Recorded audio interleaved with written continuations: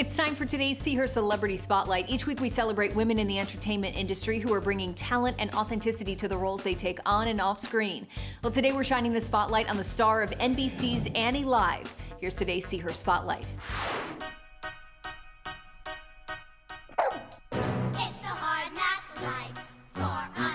It's one of the most iconic roles a young woman can play Little Orphan Annie. Everyone from Sarah Jessica Parker to Aileen Quinn making it famous on stage and screen. Now passing the torch to Celina Smith. Amazing start, so excited to see what happens.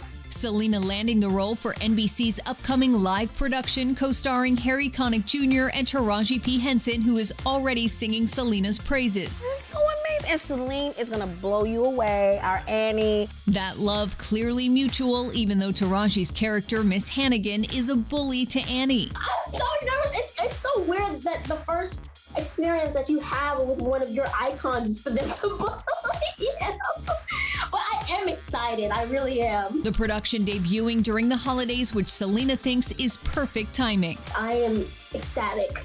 And just because of my love for the holiday season, like the warmth and the cheeriness, and especially like with the impact and the message of Annie coming with like combining with holiday season, it's it's gonna be so amazing. It's gonna be amazing. So excited for you guys to see it. Look for Annie Live Thursday, December 2nd on NBC. And for more information, visit seeher.com.